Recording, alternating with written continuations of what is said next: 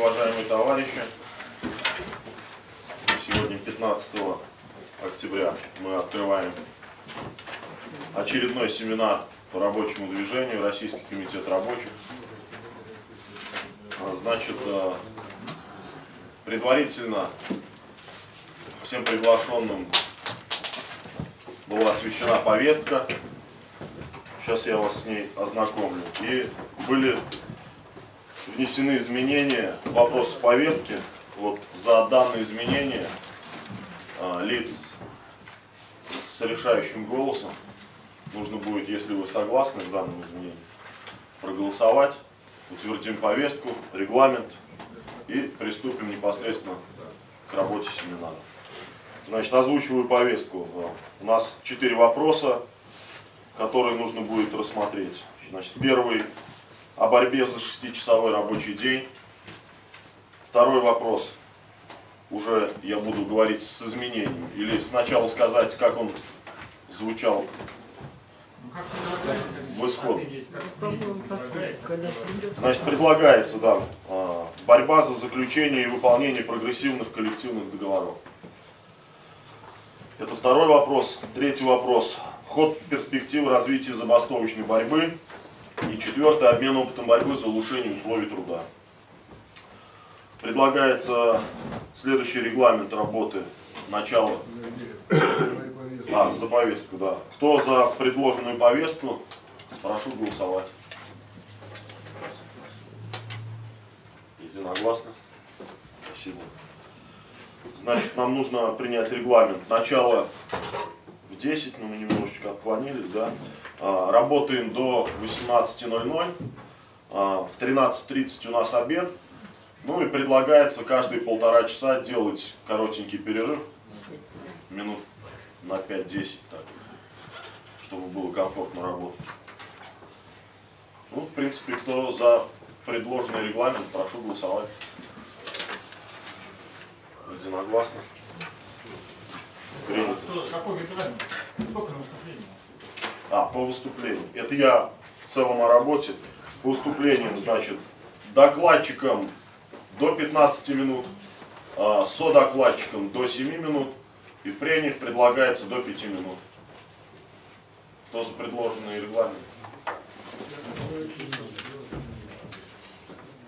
Спасибо. Так. Ну, начинаем работу, уважаемые товарищи. У нас первый вопрос. А, Для доклада приглашается Золотов Александр Владимирович.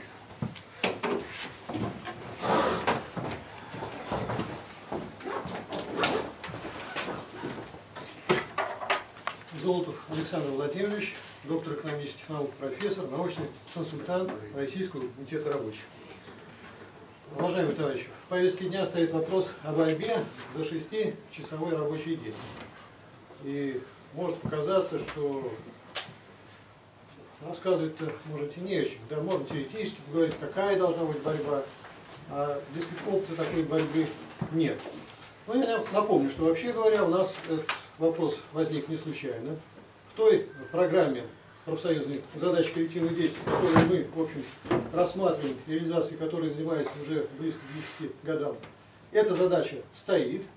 И она стоит не случайно, она, вообще говоря, выступает результатом борьбы рабочего класса. Только эту борьбу мы должны рассматривать э, не в разрезе, скажем, последних лет, не в разрезе нашего поколения, потому что наше поколение еще пока не очень за это боролось, не очень знает, а в таком большом историческом масштабе. И вот когда мы с этой точки зрения подойдем, мы выясним, что вообще говоря, рабочий класс, именно рабочий класс России, имеет большой опыт борьбы за шестичасовой рабочий день. Это не только опыт побед, это опыт поражений, но нам важно как раз и знать этот опыт весь целиком, чтобы опираться на достижения и избежать поражений в будущем.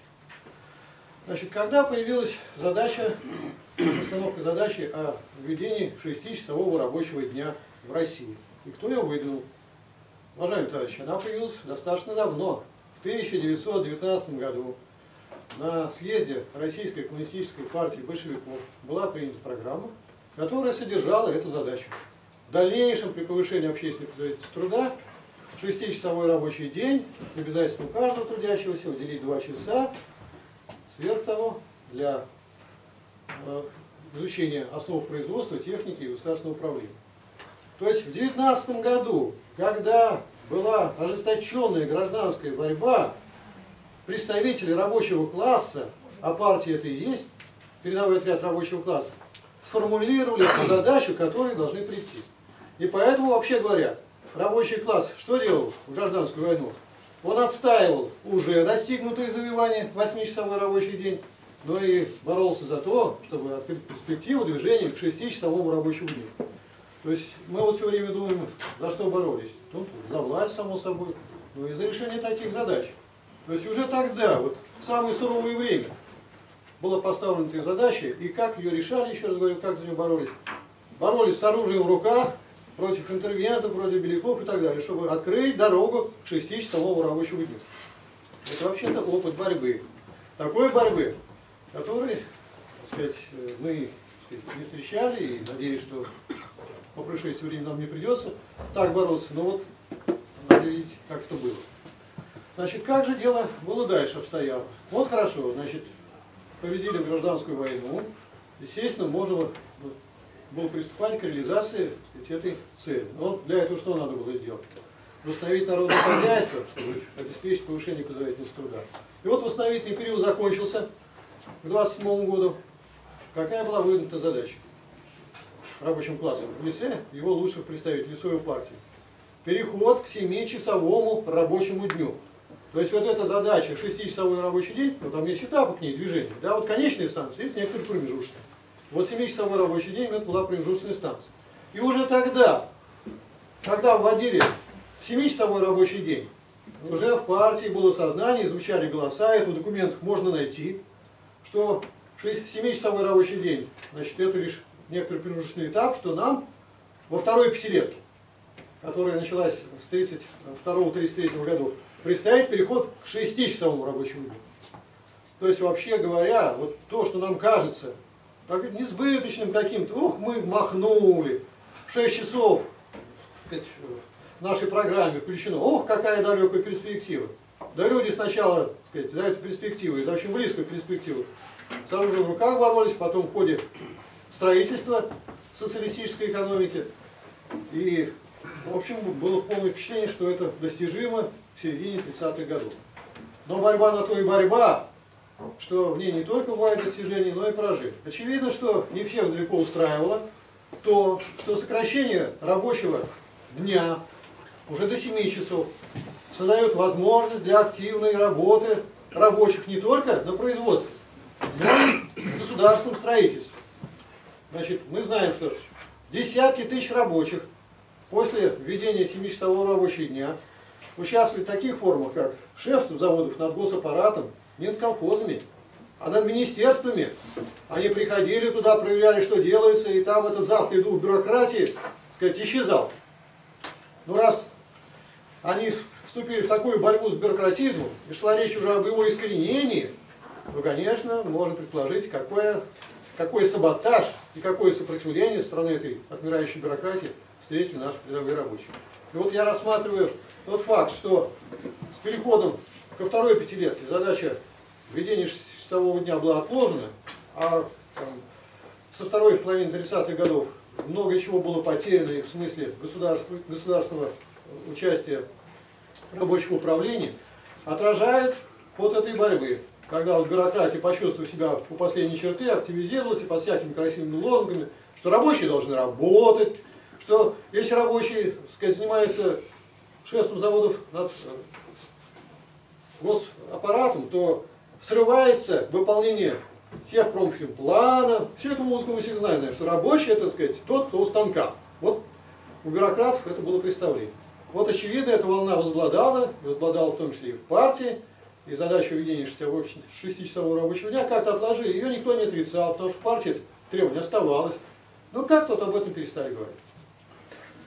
Ну и тем самым и осуществлять такое внедрение. А потом уже прихлынула война. Но война, тут надо было резко увеличить производство. И, конечно же, э, сказать, в ряду мер подготовительных был отказ от 7-часового рабочего дня, переход к 8-часовому рабочему дню в 1940 году, отказ от отпусков, от увольнений и так далее. А уж когда война наступила, там просто было узаконено сверхурочное. И все это понимали прекрасно. Да, это было в интересах рабочего класса, потому что только так можно было компенсировать уход на фронт десятков миллионов людей, и только так можно обеспечить достойное вооружение нашей воюющей армии. Значит, э, тут я скажу так, что можно это рассматривать таким образом, что внешние силы, силы империализма затормозили реализацию сокращения рабочего дня. Вот. Это вот, в этом смысле это было объективно и для нас неустранимо.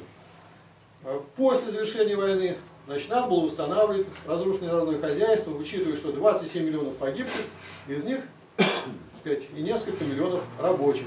Что это означало? Что значит надо было работать по 8 часов в день и так далее. Но когда задача приблизилась к его завершению, восстановлению народного хозяйства, то снова в партии, и это отражало настроение передовых и сознательных рабочих, был поставлен вопрос о возвращении хотя бы к 7-часовому рабочему дню. И это возвращение началось с конца 50-х годов, и, видимо, настрой такой был сильный, что, несмотря на всякие эти хрущевские штучки, тем не менее, пошел поворот сказать, к сокращению рабочего дня, он снова был введен 7-часовой рабочий день, и дальше представил какой шаг? Действовала программа партии, которая сказать, вот в конце 50-х годов, которая была принята в 19 году, где шла речь о 6-часовом рабочем дне.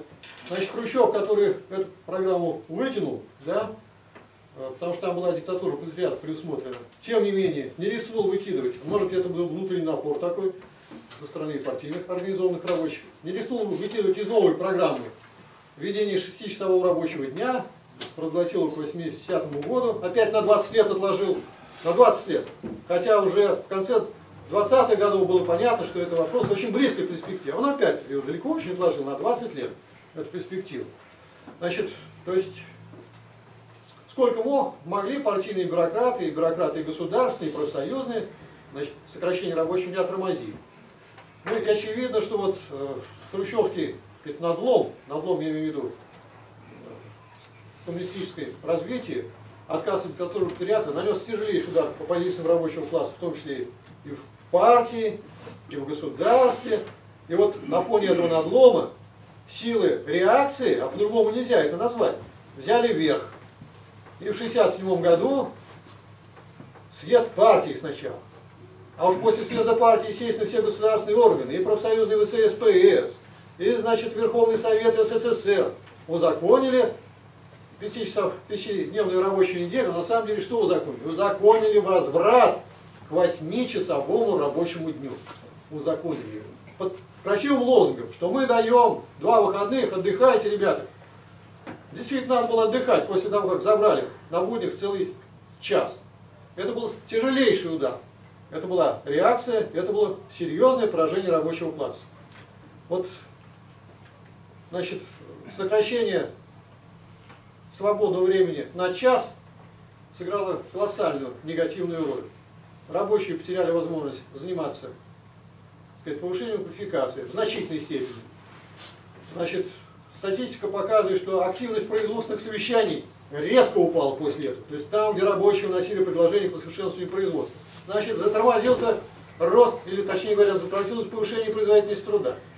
Значит, естественно, в таких условиях ни о какой серьезной государственной работе рабочих, в смысле участия в государственном управлении, не было речи. И все сверлось декоративному так сказать, подниманию рук. Естественно, на такой базе невозможно было восстановить шефство заводов над госпаратом, тем более, что и политической воли к этому не было у партии, которая уже была довольна тем, что рабочих наконец-то привязали к станкам. Наконец-то они стали заниматься чем мы должны. Работе у станка каждую рабочую минуту. Ведь так предпринималось. Каждую минуту, так сказать, в работе. Значит, один сидит там, а здесь вот каждую минуту. И не-не-не, не займись государственной работой, не проведи, значит, сказать, рабочие собрания и так далее. Конечно, все это проводилось, но это была некоторая уже такая э, позиция отступления, сохранения прежнего, а не движения вперед. А не движения вперед. На такой базе, естественно, мы пришли к тому, что к середине, э, к рубежу 90-х годов рабочий класс полностью потерял возможность влиять на государственный аппарат, да и охоты на это, кстати, уже не было влиять, потому что там рядились коммунистов, а делали прямо антикоммунистические вещи. Значит, понятно, что когда победа капитализма была узаконена, это был бы страшный разгром и, и рабочих организаций, и коммунистических организаций. Но, естественно, задача отступила на задний план. И вообще, сказать, она и практически и не звучала, задача деятельности рабочего дня. Должен сказать, что вот коммунистическая партия, когда бы она не действовала, когда она действовала, скажем, под поле, она всегда выставляла большие задачи на вырост и отличала коммунистов. Скажем, когда рабочий день был 11 часов, 10 часов, в программе стоял 8-часовой рабочий день. Да, когда стало полегче, 6-часовой рабочий день. Вот должен отметить, что в политических силах, которые претендовали на роль гвардии рабочего класса, борьба за сокращение рабочего дня до 6 часов ушла далеко. И поэтому в этом смысле 90-е годы это какой-то провал. Вы не найдете ни одной политической силы, которая бы уставляла это требование. Ну, так долго не могло быть. Мы с вами понимаем прекрасно, что ну, если мы потерпели поражение, то мы понимаем, что это поражение временное. Мы, я имею в виду рабочий класс России. И, естественно, вполне закономерно, что вот в программе ряда политических сил, например, Общественный день рабочей партии России, значит, в программе задачи коллективных действий снова выставлено требование сокращения рабочего дня до 6 часов, понятно, что с сохранением заработной платы. Значит, снова мы должны бороться за тот шаг, который как напрашивался еще сто лет назад. Ну, большая оказалась задача. Оказывается, что это такая задача, которую не, решилась, не удалось решить двум поколениям. Значит, третье поколение рабочего класса и его сторонников должны эту задачу решать, сказать, за нее бороться. Ну, а чтобы за нее бороться, во-первых, надо осознать, что она совершенно необходима. Я думаю, нашей аудитории не надо доказывать, что 8-часовой рабочий день устарел, что он не дает возможности рабочим не организоваться толком, не дает возможности развиваться, не дает возможности полноценно сказать, общаться с семьями, то есть просто уже не отвечает современным требованиям. Совершенно необходимо вводить 6-часовой рабочий день. Такое введение нужно для нашего производства. Да, это позволит нам лучше использовать оборудование. Вот вчера на конференции совершенно привет отмечалось. Что сейчас, когда и рабочих не хватает, и все, значит, две смены, ну какой смысл организовывать? Значит, тогда не две смены делают, а восемь, а потом говорят, останется на сверхурочные. И, значит, из одного работника делают 12 часов. Да? Так это, так сказать, преступление, потому что, так сказать, возраст нашего рабочего класса такого, что через 5 лет делать вообще и смену одной не с кого будет. Наши люди не понимают. Они все думают о финансах, о займах, об инвестиционном климате, о том, что прикрепите деньги, деньги притекут, только рабочих не будет. Вот сейчас перед какой чертой мы стоим. Речь идет о спасении рабочего класса в физическом прямом смысле. Люди будут, население будет, рабочих не будет, потому что в таких условиях никто не желает трудиться. Если, конечно, нас принудительный труд не ведут. Да? Но такое тоже вроде уже проехали. То есть, короче говоря, сказать, сокращение рабочего дня до 6 часов это жизненно необходимо. Как для развития рабочих? А рабочие это главная производительная сила. Так, естественно, и для развития производства. И поэтому мы должны это выставить лозунг, сделать его первоочередным. Потому что борьба, скажем, на зарплату, вот мы об этом будем говорить, когда возможно? Когда рабочие действуют коллективно. А когда они могут действовать коллективно? Когда у них есть время для организации. Вот сегодня так отступил рабочий класс после разгрома коммунистической партии, ее предательства, что у него просто времени нет организации, для организации. Какой же тут рост, какое повышение заработной платы? Поэтому вот э, сопоставляя две задачи, которые мы рассматривали здесь, и вот я думаю, что этим можно закончить, задачу доведения заработной платы до уровня стоимости рабочей силы и задачу сокращения рабочего дня, мы должны определить приоритетность решения этих задач. Полагаю, что сейчас мы должны уже с учетом того опыта, который мы имеем, борьбы за повышение заработной платы, и опыт этот больше негативный, потому что мы выставляем лозунг, а бороться нет возможности, потому что люди не имеют времени для борьбы. Надо, по-моему, поменять приоритеты. Настало время. И сказать, что первоочередной, основной задачей борьбы профсоюзных рабочих организаций является борьба за сокращение рабочего дня. И на этой основе, и опираясь на эту предпосылку, борьба за повышение заработной платы.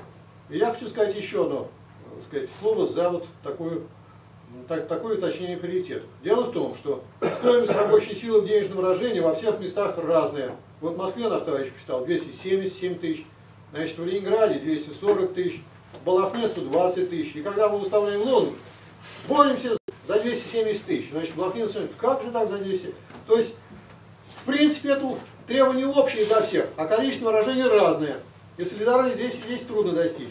А вот если мы выставляем 6 часов рабочего дня для всех, то это точно требования солидарные, которые всех объединяют. И мы можем бороться за свой уровень заработной платы, но там в разном положении. Но все вместе, в каждом коллективном действии, на отдельном заводе, на отдельном участке выдвигать требования 6-часового рабочего дня. Это то, что, безусловно, объединит всех борющихся рабочих и работников. Я думаю, что вот это послужит продвижению коллективных действий в России. А успеха можно добиться, как мы поняли, только коллективным действием. Спасибо за внимание. Вопрос? Товарищи, вопросы к докладчику? Вопрос можно, пожалуйста? У меня вопрос приземленный. Хорошо, сделаем мы шестичасовой рабочий день, но надо же к этому присовокупить, чтобы заработная плата нижней, вот об этом тоже говорить автоматически, потому что если останется тот же прежний, то мы потеряем. Значит, Александр Николаевич, ну вот если мы боремся за 60 рабочий день, здесь два аспекта. Что, во-первых, если мы его ведем, то тогда у рабочих возможность бороться за не просто сохранение, за повышение сказать, своей заработной платы будет многократно выше. И мы всегда уже об этом здесь говорили давно. И вот когда у нас докторы приезжали, они говорили, что больше зарабатывает не тот, кто больше работает, а кто проводит активные коллективные действия. Это закон профсоюзной борьбы. Так вот, в условиях 60 рабочего дня, я думаю, что такая будет активность невидная, что вот наши вот проблемы с повышением заработной платы, с индексацией и так далее покажутся просто вот несерьезно. А с экономической точки зрения, Просто как-то увязывать надо. конечно, а с экономической точки зрения, еще раз говорю, что и повышение заработной платы, и сокращение рабочего дня – это проявление повышения производительности труда. Поэтому все на этом базируется. Но с другой стороны, когда мы добиваемся сокращения рабочего дня, мы стимулируем наших капиталистов к использованию передовой техники и передовой технологии, заставляя их, принуждаем к повышению производительности труда. Так что все складывается в одно. Поэтому рабочий класс, ставя, решает такую задачу, обеспечивает развитие производства, а не наносит ему ущерб. Конечно, будут говорить, что вы хотите нарушить и так далее. Все наоборот. Александр Николаевич, слишком редко ездишь. Ну Поэтому почему? выпадает информация у тебя. Я все не выпадаю. Товарищи, кто-то еще хотел выступить по данному вопросу? Нет, вопрос. Выступление будет. Вопрос. К докладчику? Хотел бы дополнить э, по поводу международного опыта вопроса. Так, это вопрос или выступление? На вопрос, да.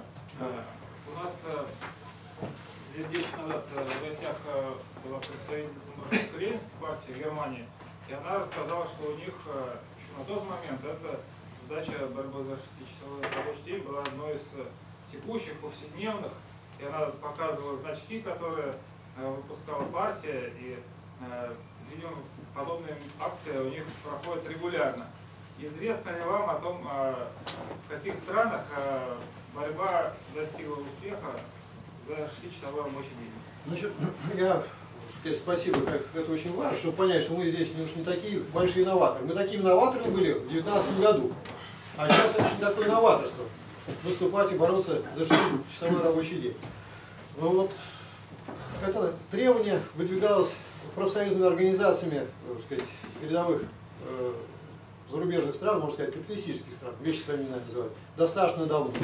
Скажем, в середине 90-х годов Конгресс норвежских профсоюзов, то есть там и сидят и чиновники, и кто угодно. Вот выдал эту задачу борьбы за 6-часовой рабочий день. Значит, поэтому это известное требование.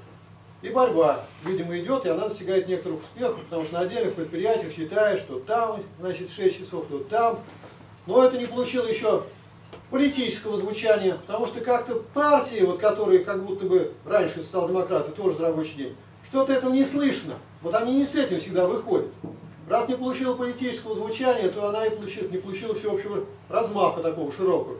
То есть она идет на таком зачаточном состоянии, в очаговом состоянии. И, кстати говоря, и приносит успехи. И тихой сапой, вот мы говорим, в Швеции уже они впрямую на фирмах вводят 6 часов рабочий день. То есть это проходит. Это отражает, с одной стороны, то, что назрело такое так сказать, мероприятие, такой переход, а с другой стороны, вот слабое звучание и отсутствие такого широкого размаха о том, что политические представители рабочего класса, что у нас, что за рубежом, коренной задачи сокращать рабочий день для рабочих изменили. Еще вопросы, товарищи, есть у кого? Вопрос? Ильич, ну, а, вот как, а, как экономист, э, какое политико-экономическое содержание вот этого а, лозунга за 6-часовой рабочий день? Мы знаем, что любой рабочий день делится на необходимое время и прибавочное время. Что меняется при сокращении э, так сказать, рабочего дня до э, 6 часов? Значит, э, Денис Борисович, я хочу сказать, что при капитализме э, даже 6 часов будут делиться на две категории. Необходимое рабочее время и прибавочное. То есть введение 6-часового рабочего дня капитализм не убивает. Это вот надо успокоить господ капиталистов и развеять иллюзии рабочих. Что если мы сократим до 6, то весь продукт будет нам. Ничего подобного. На самом деле, и сейчас необходимое время рабочее составляет, может быть, от силы час-полтора в рабочих, а все остальное забирает. Поэтому это будет что означать? Что сократятся масштабы абсолютного производства абсолютной прибавочной стоимости. То есть производство за счет удлинения рабочего времени. И будет увеличиваться производство относительной прибавочной стоимости. То есть такой, э, такой способ увеличить производство прибавочной стоимости, который связан с техническим прогрессом. Я думаю, что рабочему классу, конечно, предпочтительнее второй способ, который связан с прогрессом, с развитием производства, с повышением квалификации рабочих, а не просто с хищническим значит, истреблением и с хищнической эксплуатацией рабочей силы. Вот лозунг сокращения рабочего дня закрывает для капиталистов или осложняет до крайности увеличение производства абсолютной прибавочной стоимости. Это тоже очень важный эффект. Можно война? С кем? Так она всегда идет. Только в этой войне, пока рабочий класс бьют, бьют, бьют, бьют. Потому что вот это, знаете, как с дикарями в свое время империализм. Это даже за войны считалось. Ну, приехали, из пушек постреляли, еще раз бились. То есть, ну, вроде как и не война. Но это была война, но только в которой одна страна была значительно слабее. И в нашей ситуации рабочий класс потенциально сильный и мощный, значит, но поскольку он дезорганизован, поскольку не имеет политического руководителя, он слабее оказывается. Поэтому его пока бьют. А Какие законодательные акты должны быть приняты на федеральном уровне для введения 6-часового рабочего дня? Вот это самый вот введение 6-часового рабочего дня, это и будет главный федеральный акт. Закон о, переходе, ну, о введении, я с вами согласен. Это делается неоднократно. Но тут можно посмотреть на опыт, скажем, во Франции вводили 30-часовую рабочую неделю. Предоставлялись льготы тем, кто это делал. То есть тут надо подумать, чтобы так это мягко, мягко, мягко, но тем не менее в эту сторону. Это все делается. Вообще первый закон это закон о сокращении рабочего дня до 6 часов. Вопрос.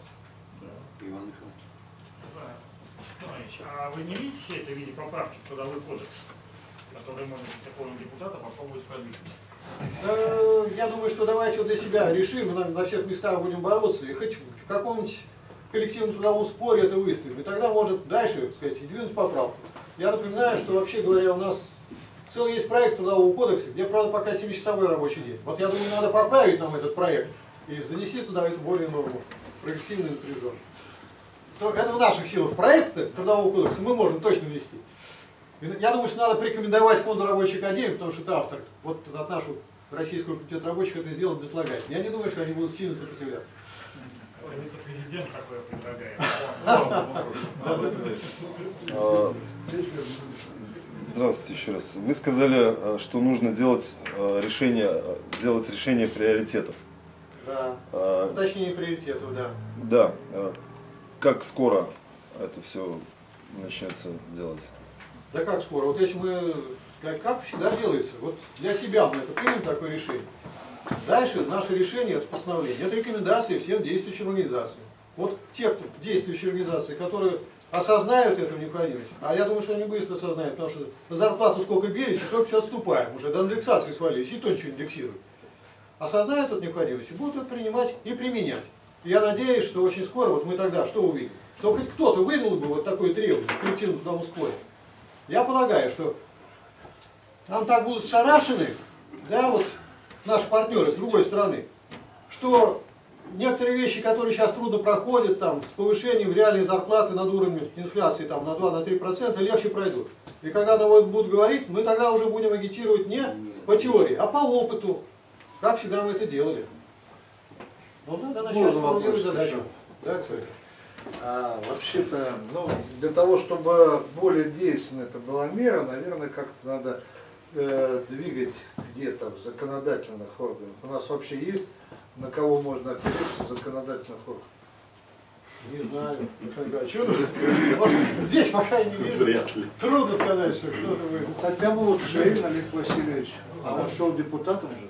А, ну, может, кстати, к этому вернуться, да. Вот я говорю, Может быть, стоит обратиться к нему, проверить еще раз. Он в свое время ведь вообще целый кодекс носил, я ему подписывался. говорю, Жег ли он мосты? Может, он не жег. Ну тогда что ж, мы его... Попробуйте. Попытка-то была. Хорошо. Можно вопрос? А скажите, пожалуйста, а может начать с того, это в каче- качестве э, вопроса одновременно такой вот э, задумка. Для рабочих 6 часов, а для офисов, для офисных планктонов, так называемых, например, да? Нет, почему? И 8 часов. Например, как первый этап, как вы относитесь к такой постановке вопроса? Я не говорю, что это я предлагаю. Но если такую постановку вопроса поставить. Олег Анатольевич, я вам хочу сказать, что я бы не стал так говорить. Ну, кто сделает первый, тот и сделает 6-часовое обучение. Здесь вот, вот, скажем, сделают авиадиспетчеры, которые страшно страдают от смены работы, страшно, труд напряжен. И вдруг они сделают 6-часовую рабочую смену и, сказать, фонд рабочего времени. Это будет хороший пример. Давайте здесь сделаем профсоюзные соревнования. Только я о другом хочу сказать, что это сделать, чтобы это сделать, нужно иметь сильные профсоюзные организации. Я вас уверяю, что там, где речь об офисном планктоне, там сильных профсоюзных организаций не найдешь. да Поэтому, вообще нет. поэтому первым это, если и сделают, то сделают рабочие организации. Когда рабочие организации сделают, тогда и остальные за ними потянутся. Поэтому давайте ко всем обратимся, а сами про себя будем знать, что без профсоюзной организованности этого не добьешься, а профсоюзная организованность по правилам выше производственных коллективов. Поэтому рабочие себе сделают 6 часов, а уж остальные пусть подтягиваются. Ну, Шейна надо проверить. Ну, может быть, может быть. Как он отреагирует? Лев Викторович. Вопрос. Александр Владимирович, все-таки вот непонятно, э, это как политэкономическое тут э, существо дела. Вот вы сказали, что необходимая часть э, рабочего времени, ну час. Я согласен, Да, наверняка конечно. меньше даже. Может, и Вот. меньше. А с другой стороны, в общем-то, в современном капитализме и норма прибыли-то не, не ахти какая. То есть там Процент очень маленький. один- 5% это много. Вот. Куда же труд-то разбазаривается? Так, э, значит, Лев Викторович, значит, на, прибавочной стоимости в современном обществе живут 80%. Так вот минимально. 80% населения. И поэтому, когда мы рассматриваем норму прибыли, скажем, э, работников, э, я не знаю, ну, предприятия какого? Какого-нибудь информационного предприятия, фирмы, так, непроизводственной сферы, то что там выясняется? Это на самом деле распределение прибавочной стоимости, изъятое из материального производства между работниками этой фирмы. И, конечно, остается очень мало, их привязывают к уровню зарплаты рабочих. И, значит, владельцам этой фирмы.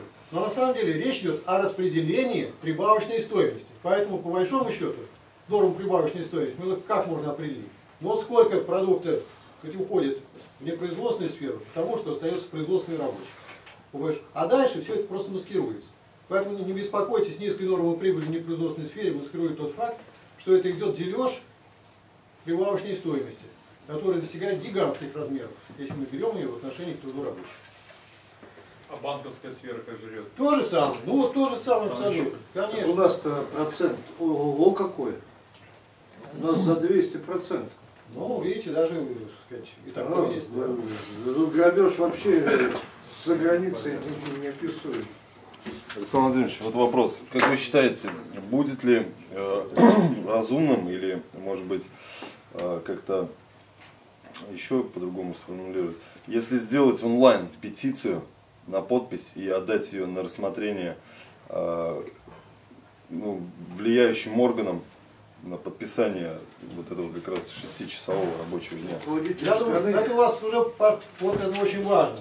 Что важно? Что пошли конкретные предложения. Как двинуть эту идею в жизнь, как ее, так сказать, ознакомить с ней, как можно более широкие слои рабочих трудящих. Вот, наверное, стоит и это посмотреть. Я, например, предлагал сделать на каком-то сайте счетчик за 6 часов рабочий день, голосуете, заходишь, проголосовал и так далее. Наверное, еще есть какие-то способы, давайте об этом подумаем, но это уже чуть выходит скорее обсуждение того, что как это сделать. Я вот не ставил такую задачу, предложить эти способы, давайте вместе о них подумаем. Спасибо. Спасибо за содержательный доклад, за ответы на вопрос. Товарищи, э, вопрос действительно актуальный, и кто бы, может, хотел бы свое видение непосредственно по данному вопросу высказаться с решающим голосом. Пожалуйста. Ну, если нет желающих с решающим.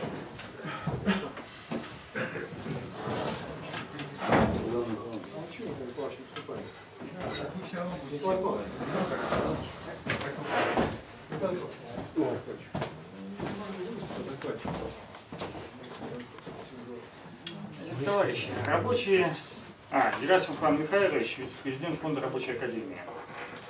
Значит, рабочие, они даже в Рахмата еще неграмотные времена интуитивно чувствовали приоритетность вот этого требования сокращения рабочего дня перед другими. Вот Маркс в «Капитале», он упоминает акт в английские правительства 1847 года, который ограничивал рабочий день 10 часами по сравнению с 12, 15, 18 и более бывшими до того.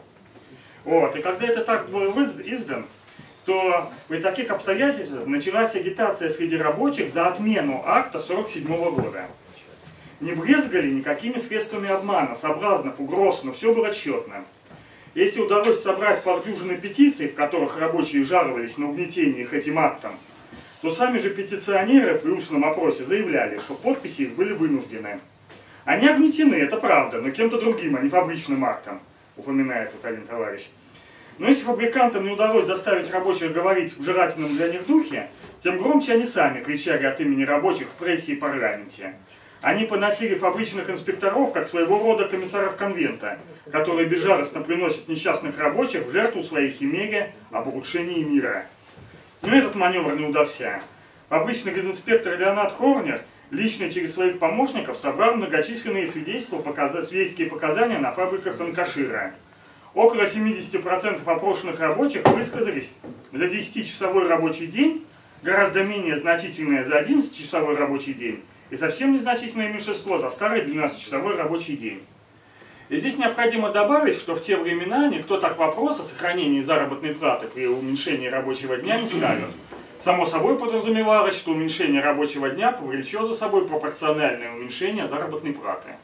И тем не менее, такое вот отношение. Значит, наиболее известное, пожалуй, выступление рабочих XIX века – это Чикагская демонстрация 86 года, 1 мая, расстрелянная. Она была посвящена, опять же, требованиям 8-часового рабочего дня. Ходе Иваново-Вознесенской забастовки 1905 года, в ходе которой был создан первый в мире в России совет, также на первом месте звучало требование 8-часового рабочего дня. Первое, что сделали, не скажу за всю Россию, но, по крайней мере, питерские рабочие после февральской революции буржуазно-демократической 17 года, это установили 8-часовой рабочий день на питерских, по крайней мере, предприятиях. Опять же, за всю Россию не скажу. Это позволило наладить работу фабзавкомов на питерских предприятиях, которые контролировали приемы на работу и увольнения, контролировали вопросы заработной платы, контролировали вопросы рабочего времени и условий труда. Кроме того, для защиты предприятий были созданы, была создана рабочая милиция, которую вооружали на деньги работодателей и предоставляли время из этой рабочей милиции осенью 17 года возникла Красная Гвардия. И Ленин неоднократно писал, что без вот этого 8-часового предбанника не было бы Октябрьской революции. Поэтому 8-часовой рабочий день – это главное требование. Люди на самом деле живут так, как они того хотят и как они того требуют. Вот у Маркса в том же «Капитале» есть очень интересное высказывание – Марк задался мыслью, почему Аристотель не смог понять понятие стоимости. Вроде бы не глупый был человек. И вот он пришел к выводу, что это вот сейчас только на данном этапе, когда Маркс был, можно было понять понятие стоимости, потому как идея человеческого равенства уже приобрела прочность народного предрассудка. И вот когда какая-либо идея приобретает прочность народного предрассудка, то тут не надо преувеличивать какие-то карательные органы, репрессивные органы и так далее. Люди живут так, как они хотят. И поэтому здесь э, требования рабочего времени, здесь к этому месту я не могу не упомянуть, что Красный университет, в котором проводятся занятия, вот он на сегодняшний день набрал около 300 слушателей. Из них около полусотни только в научном отделении в Ленинграде. Это вот цифра такая, она показывающая качественный рост. И вот выпускники этого университета, их уже не заставишь жить так вот, как э, жить. И вообще вот на протяжении вот всего времени, по крайней мере, что я живу, я думаю, любой здесь присутствующий подтвердит, что люди всегда вот в массе своей жили так, как они того хотели. Как народ хотел, такая вот примерно и была ситуация в стране. И так вот, по крайней мере, осознанных выступлений каких-то не было и нет.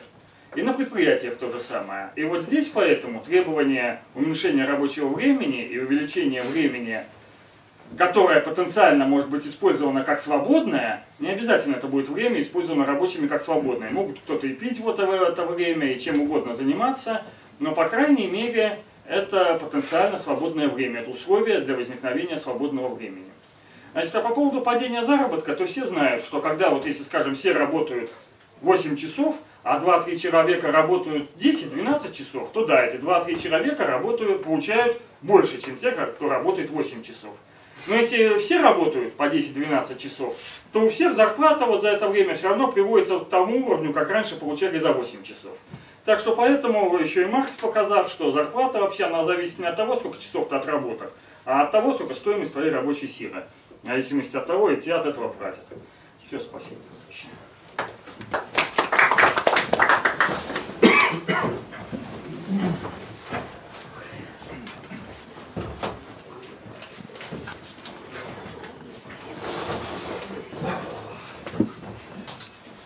Французов Николай Павлович, водитель машины, ООО «Хлебный экспресс», Ленинград. Человек создан для труда. Человек должен всегда трудиться. Безделие – это пагубно сказывается на здоровье человека. Не зря народная мудрость гласит «дело время, время потеки час». Народ мудрый. Но труд труду рознь. Есть труд, который мы выполняем по необходимости. Это для того, чтобы жить, существовать, зарабатывать на жизнь. Этот труд тоже может быть разный. Одни на работу ходят с удовольствием, другие как на каторгу. Э, по статистике я слышал это не помню из какого источника, на работу с удовольствием ходит где-то около 20-25%, а остальные ходят без удовольствия. И, естественно, эмоции у человека на, от этой работы положительные и отрицательные, что, естественно, сказывается на э, психическое, физическое состояние человека. Вот. Да. Э, говорят, если сократить рабочее время, то с 8 до 6 часов, конечно, естественно, сохранение заработной платы, человек, ну, некоторые говорят, что на что он будет тратить это оставшееся время? На какие-нибудь развлечения, на какие-то, на пьянку, там. Это неправда. Человек если будет сокращено рабочее время, будет тратить свободное оставшееся время на, другую, на другой труд. А тот труд, который ему нравится, в свое удовольствие. И это будет эмоциональный подъем для человека. Это будет улучшать его физическое состояние и продлевать ему жизнь. Э, вот будут пьянствовать. Я говорю, что вот мне мать говорила, что у них на деревне было как? Вот там сюда много было дворов, два-три пьяницы всего лишь. Ну, без этого не бывает. Вот. У нас, я вот живу в доме, ну, большой дом у нас, ну, то же самое, где-то два-три человека, ну, видно живут, которые видно постоянно пьяные. Ну, ничего не нужно. Ну, а в основном большинство людей, они с удовольствием после работы занимаются своим любимым делом. И это очень важно для человека. При сокращении рабочего дня с 8 на 6 часов и при увеличении свободного времени, где человек свободно развивается, занимается любимым делом, пускай даже на компьютере он занимается, развивается, с детьми. Я, например, с удовольствием хожу на участок после работы. Э, Я там получаю удовольствие. Устаю, но это какая-то приятная усталость. И вот эта эмоция, она очень важна для человека. Нация будет здоровее. И в этом случае можно будет даже уже говорить о выходе на пенсию в более позднем возрасте. Все.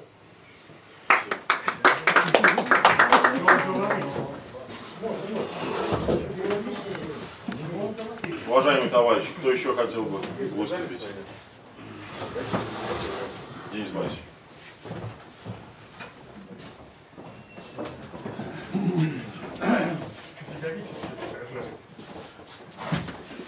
Кирилл Денис Борисович, врач-эндоскопист, консультант Российского комитета рабочих.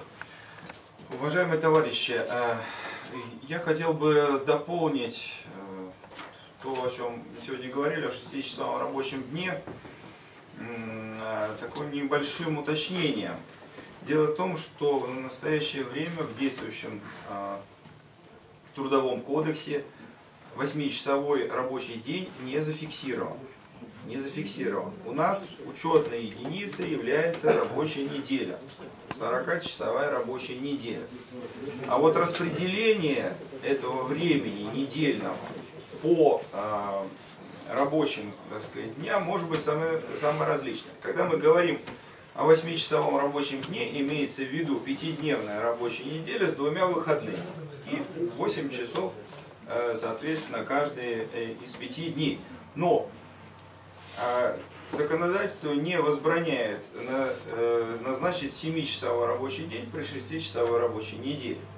Или 12-часовой рабочий день при смена 12 часов и, соответственно, там отдых. Или суточная работа 24 часа и дальше э, там не меньше 48 часов отдыха.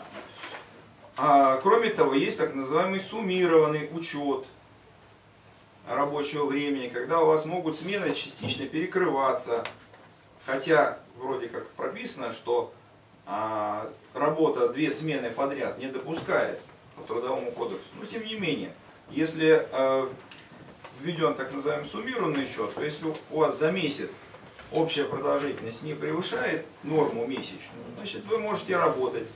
И примеры такой работы есть. Особенно это касается малых предприятий, где люди работают а, несколько дней подряд без выходных. Это касается индивидуальных предпринимателей. Вот, например, дальнобойщики, вот он двое суток едет подряд, потом сутки осыпается, например. Да? То есть э, самые разнообразные формы принимает рабочий день. Поэтому, когда мы говорим о сокращении 8-часового рабочего дня да, до 6 часов, мы должны выдвигать требования не просто сокращение абстрактно вот этого 8-часового рабочего дня, а сокращение рабочей смены. Чтобы рабочая смена была 6-часовая. Потому что если мы не будем говорить о сокращении рабочей смены, то все, все пойдет прахом.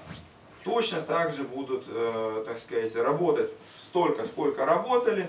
Ну, просто это, вот эти дополнительные освободившиеся часы будут уходить либо сверхурочные, либо это будет, э, так сказать, совместительство, это будет расширение. Также напишут, а, так сказать, э, заявление, там, в лучшем случае, да, работники, что прошу разрешить мне еще два часа поработать. Конечно, экономический, так сказать, эффект будет, да, эти два часа будут оплачены еще дополнительно, сейчас они не оплачиваются. Но тем не менее, вот, наверное, настало время, если говорить о изменениях в проект Трудового кодекса, который, так сказать, у нас э, есть в Фонде рабочей академии, то вот закрепление продолжительности рабочей смены должно иметь место.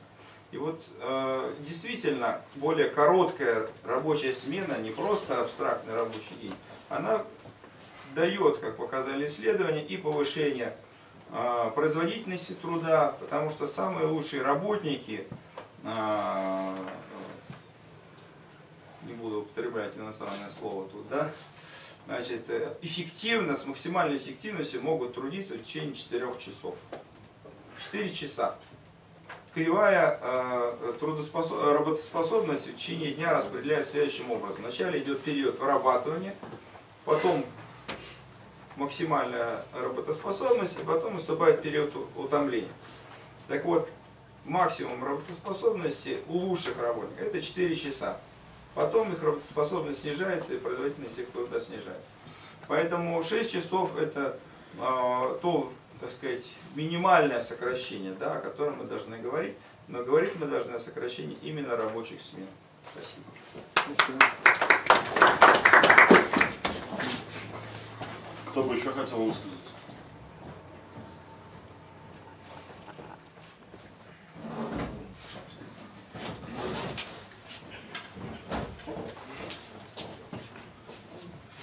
Шилов Дмитрий Юрьевич, монтажник радиоэлектронной аппаратуры, акционерное общество в НИРА.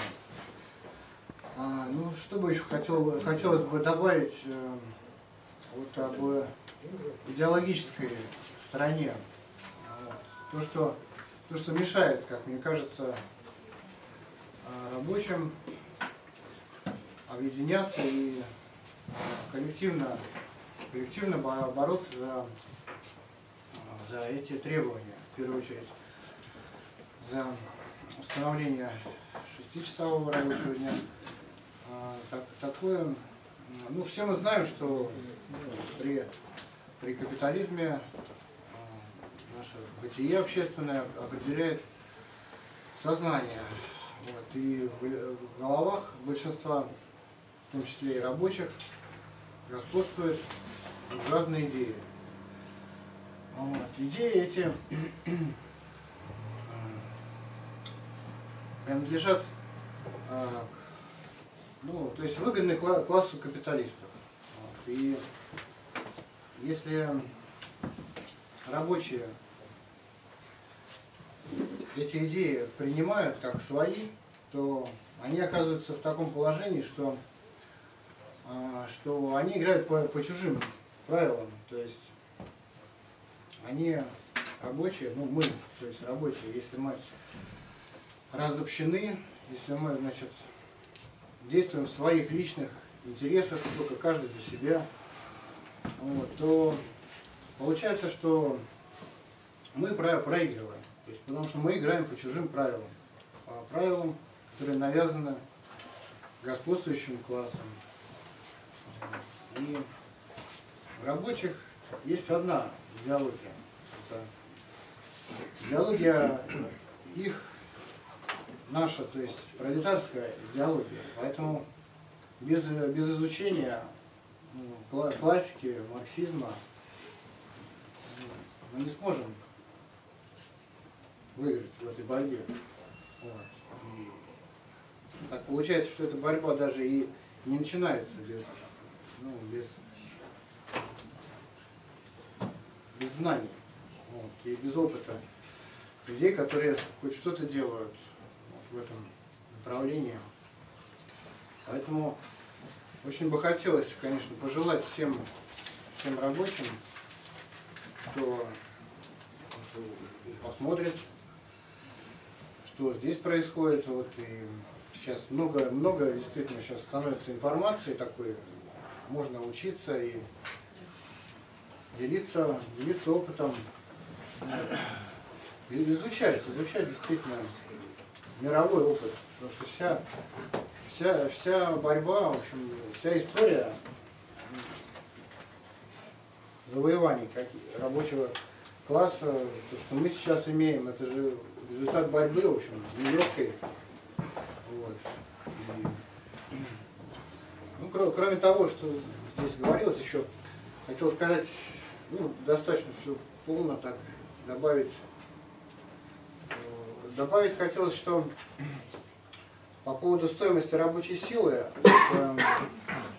в России вот, достаточно высокая стоимость рабочей силы, потому что ну, у нас холодный климат, то есть и человеку много нужно на самом деле. Много нужно средств всяких, там, той же одежды, э, утепления жилища и, прочие расходы на детей, то есть это же тоже все, то есть э, сколько нужно обуви только одной, допустим, в год, да, там, ну не так, как там в Индии, скажем, да, где стоимость ниже, и в том же Китае. Вот. А, а зарплаты, зарплаты, хочу сказать, далеко, далеко не, не высокие у нас, очень даже невысокие, очень заниженные. То есть капитал получает сверхприбыли за счет удлинения рабочего дня и за счет того, что не доплачивает. Вот.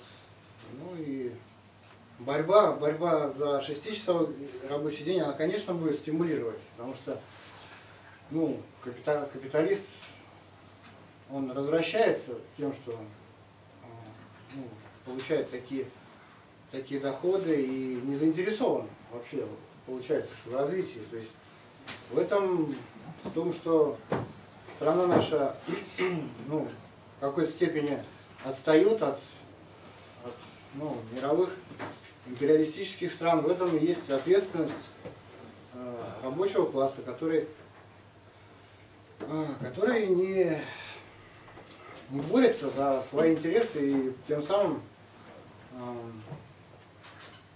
развращает капиталиста нашего отечественного, вот, которому надо бы вкладывать в производство и, и не только его так сказать, ну, выкачивать все и банкротить, а думать о развитии.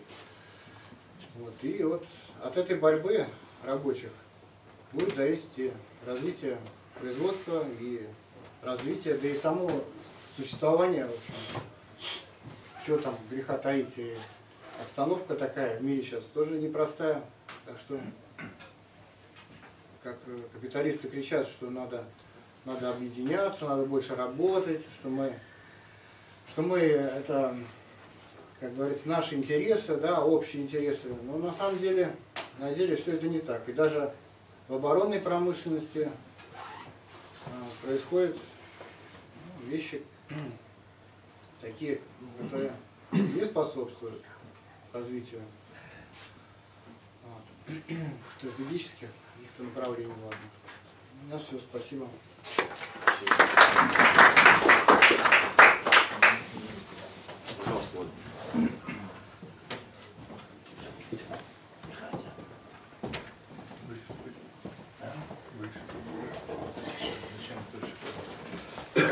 Кудрявцев Владимир Михайлович, представитель Российского комитета рабочих Белгородской области.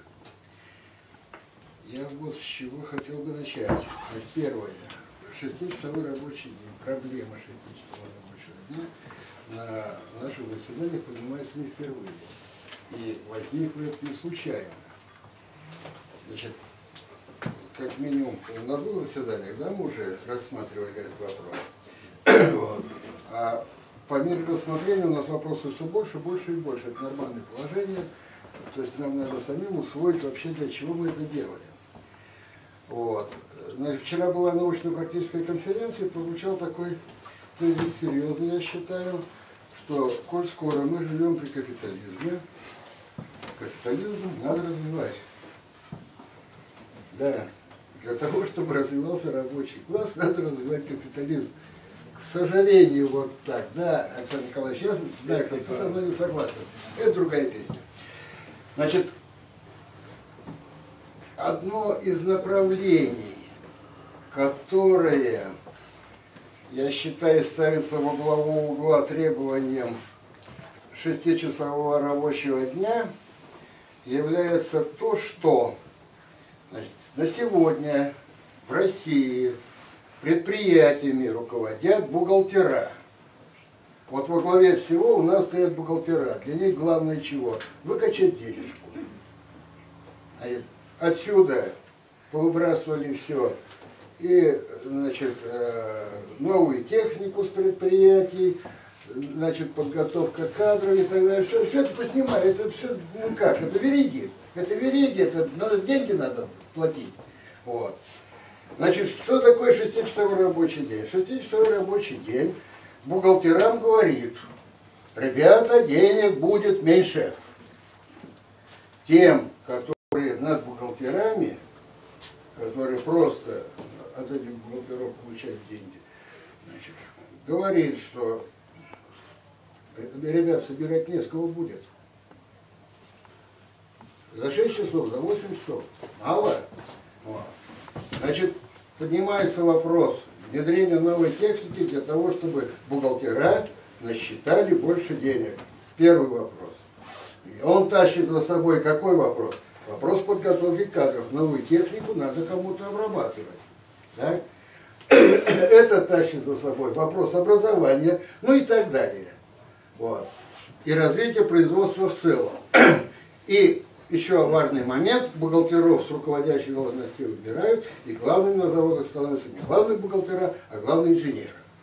Вот очень важный такой момент для развития капитализма на сегодня. И шестичасовой рабочий день стимулирует э, капиталистов к этому.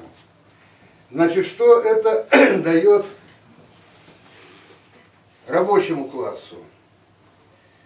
Тоже обсуждали вот. Ну вот тут э, Иван Михайлович привел очень интересные вещи, что э, в XIX веке в Англии рабочие уже выступали за сокращение рабочего времени, э, невзирая на то, что они потеряют заработную плату. Вот я считаю, что одним из факторов было то, что а у рабочих не было садов, участков и так далее. Они были все-таки чистыми пролетариями. Активная фаза контрреволюции началась с чего? Давайте вспомним.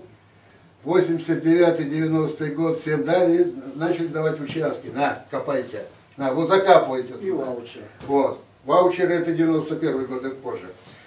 При советской власти начали раздавать, при, скажем так, вот, при Горбачеве, да. Вот. Для чего? Для того, чтобы людей лишить, даже в свободное время лишить свободного времени. Понимаете? Вот у них тогда не было, это было хорошо.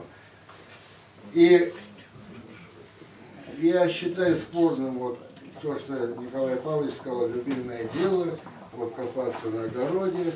Любимым делом все-таки вот для рабочих, я считаю, появятся, вчера спорили, что не будут ли эти два часа использоваться для того, чтобы лишнюю стопку выпить, там, ну так вот, просто просадить это время вот так. Нет, не будет, потому что у людей появится время для того, чтобы развивать интересы и производственные, и непроизводственные одним из положений. Вот я знаю множество людей, которые с удовольствием занимаются с детьми. Очень важный момент. Очень важный момент. Развитие образования. Рабочие специалисты придут в школы для того, чтобы вести кружки. Это и профессиональная подготовка детей, и идеологическая, никуда от этого не денешься. Понимаете? То есть Шестичасовой рабочий день тащит за собой множество возможностей, начиная от развития профсоюзного движения и заканчивая воздействием на школьников, на детей, воспитанием будущих поколений. Вот, это настолько важно. И второй момент. Первым, вернее как, раньше на Российском комитете рабочих по инициативе докеров был поставлен вопрос о достижении заработной платы уровня стоимости значит, рабочей силы. И вот шестичасовой рабочий день и предыдущая задача, их надо нам как-то грамотно увязать между собой, потому что одно вытекает из другого, и одно подпирается другим. Вот как? Давайте подумаем. Вот что я хотел сказать. Спасибо.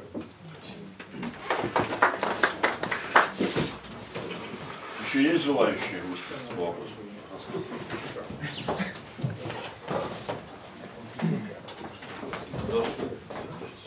Канаев Юрий Юрьевич, э, Ленинградское интернет-телевидение.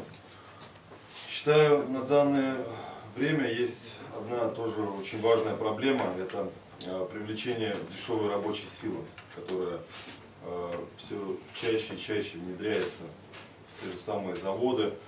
Э, Как-никак этих людей обучают, привлекают к станкам, даже фрезеровочным, знаю такие случаи, что и выходцы из э, Средней А- Азии, да, и из э, других ну, значительных стран, откуда приезжают к нам во многие города, работать за копейки и работать при этом не стесняясь по 12 часов и по 18, э, тем самым закрывая э, обыкновенному гражданину, да, трудяги, работяги э, рабочего класса полностью все, в принципе, подходы. Зачем буржуазное руководство так начинает думать, зачем мне нужен Иван Васильевич, да, который просит работать 6 часов, просит перерыв на обед, просит хорошую заработную плату. Когда можно Джурубека Назурбаева взять, он будет работать 12 часов, один раз сходит покурить на свай, ну и покушать там ему полчаса. И будет дальше херачить, работать со всего размаху, не стесняясь ни о чем. Это очень сильно вытесняет наших граждан, причем э, работодатель, да, непорядочный, который сейчас э, во многих, э, на, на многих заводах, во многих компаниях стоит у руля, как говорится, он не стесняется даже отправлять не то что на пенсию, а до пенсии списывать нафиг человека, который проработал десятилетия на одном предприятии, и вот-вот у него уже близится, то есть э, пенсия его заслуженная, он на что-то рассчитывает, да, но тут крахом все рушится из-за того, что ну зачем он мне нужен, я наберу лучше туда иммигрантов. Я считаю, с этим делом тоже нужно бороться, именно бороться, не то что э, послушать, покивать головой, пропустить мимо ушей. Потому что если мы сейчас не, не займемся этим э, вопросом, да, почему я именно затрагиваю, я там не, не расист, не нацист, э, ничего такого. Просто, ну, на самом деле, это факт, это очень важный факт. Если мы сейчас не займемся решением этой проблемы, то через э, пару десятков лет россиян, работающих на предприятиях, просто не будет. Проще взять приезжего иммигранта, он подтянет туда своего ребенка. Есть специалист обучающий, тот уже что-то умеет. Он его научит вырезать, научит лить, делать всю ту же самую работу, которую наши э, граждане могут делать. Потому что мы, как бы там, ну не я конкретно, я рожден в Советском Союзе, ну, вы поднимали, да, там, города, заводы, строили промышленные большие предприятия выстраивали, то есть, э, ну, поднимали, грубо говоря, на ноги страну. Вот. И если мы сейчас не будем обращать на это тоже внимание, то я считаю, нас задушит просто. Задушит. Вот, например, также мне уже э, нельзя будет пойти на определенный завод, там, штамповщиком я, я умею работать штамповщиком, я делал э, на пре- пресс такой вот станок. Вот. Ну и то, я работал через э, компанию, у нас был 12-часовой рабочий день. То есть сейчас внедряются компании, тоже большая проблема. А? Аутсортинг. Да, компании, которые предлагают заводу ту же самую дешевую рабочую силу, причем состоящую, состоящую, состоящую из специалистов, именно конкретно специалистов, которые в СССР обучались в школах, учились в вузах. Э, Они предлагают э, заводам ту же самую дешевую рабочую силу. Вот это тоже нельзя допускать. Я так понимаю, на этих заводах уже не, да- даже, может быть и нет, они есть э, профсоюзы. Но они как-то это мимо Есть, только они пропускают. официально Да, вот это тоже нельзя. это-. Нельзя это тоже пропускать. Это нужно э, брать, действовать, чтобы не просто сегодняшняя конференция, все люди, которые здесь сидят, это, ну, оставили это все. Это надо двигать, давайте двигать будем, привлекать всевозможные варианты, чтобы это все просачивалось во вс- во всевозможные СМИ, там подпишем петицию, что-то сделаем, ну реально надо заниматься этим вопросом. Вот. Все, в принципе, у меня все. Спасибо. Пожалуйста.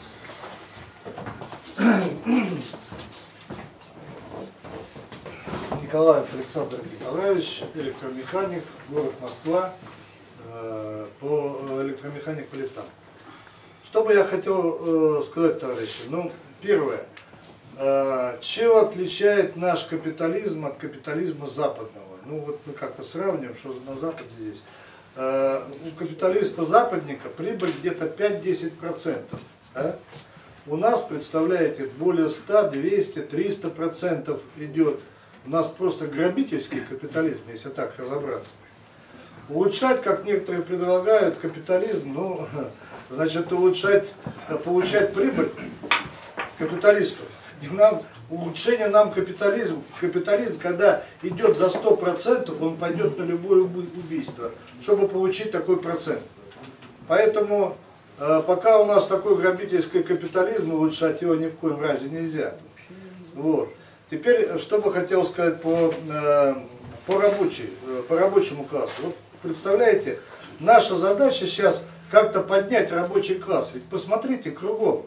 Идет кругом падение. Нет подъема до рабочего класса. Как до него достучаться? Вот нам вопрос в чем. Мы пытаемся достучаться, не получается. Вот. Для этого очень много причин. И первое хотел бы что сказать, ну, ну если мы что-то проталкиваем, надо, наверное, делать, ну, как бы, пытаться провести, вот как мы, допустим, пытались провести индексацию заработной платы, Э, то есть повышать э, в связи, цены растут постоянно, чтобы на государственном уровне спустили вниз, значит, индексацию заработной платы. Вот. Мы пытались провести через ЗАГС собрание и так далее. У нас получилось, э, значит, в Го- в Госдуме того со- созыва было такое совещание проведено. Естественно, все это отрубили. Вот. Также, подождите, по- я- а? У нас вопрос по шестичасовому рабочему дню. Не, я, товарищи. Я прошу вас не отклоняться от темы доклада. Значит, я не отклоняюсь от доклада, а почему это начал? Вы поймите меня, э, смысл-то в чем? А смысл в том, что мы должны шестичасовой. Я тоже за шестичасовой рабочий день. Конечно, это хорошо, но весь вопрос, вы посмотрите, а надо же как-то его проталкивать. Ну как проталкивать его? Вот сейчас приду я на, на- на- к себе на предприятие и скажу, ребят, дайте 6-часовой часовой рабочий день требовать. А у нас никакого договора, ничего нет. Как его требуют? Записать. Поэтому я, поэтому я и, и- и привел этот пример по ЗАГС собранию. договора нет. А, ну, маленькая организация, ну что ты хочешь Не везде, сейчас, сейчас это очень мало идет. Поэтому я и привел этот пример, я не отклоняюсь от темы. И второе, вы посмотрите, конечно, я за, чтобы рабочий имел свободное время, понимаете, занимался. Вот э, товарищ говорил Кудрявцев, что в школу пойти, вы знаете, не пускают туда напрочь. Вот не подпускать пушкой туда к, э, э, к школьникам никого. Если раньше еще э, э, ветеранов Великой Отечественной войны допускали, да, то сейчас никого не допускают, понимаете? Поэтому тяжело. И если говорить, что два часа надо потратить на то, чтобы э, рабочий занимался своим самообразованием и так далее, то уже система должна сама работать. Ведь система государственная на это работать не будет. Вот в чем вопрос. Значит, вопрос-то стоит еще шире. А вопрос стоит о взятии рабочим классом власти. Понимаете? Вот я к чему говорю.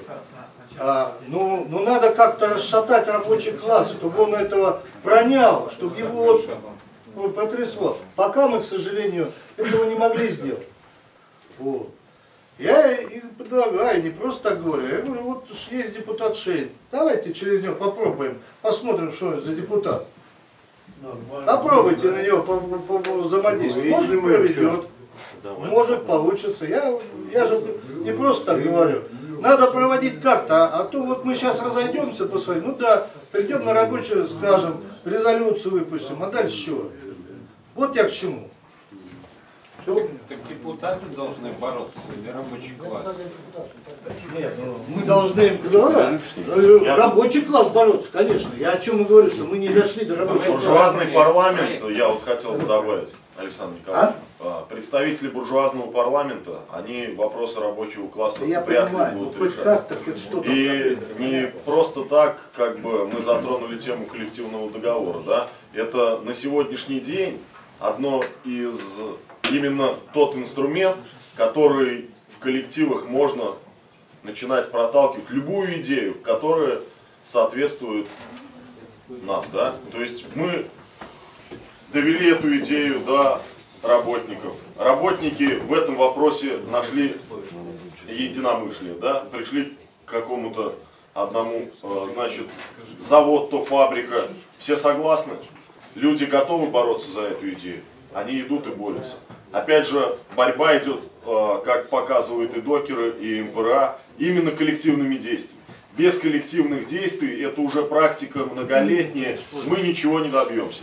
Соответственно, я просто, Александр Владимирович об этом не сказал, э, когда эта идея была, значит, э, внедрена в программу, и обращались мы к ней не раз, непосредственно э, он обращался к представителю КПРФ, где эта идея затуманилась, затерялась.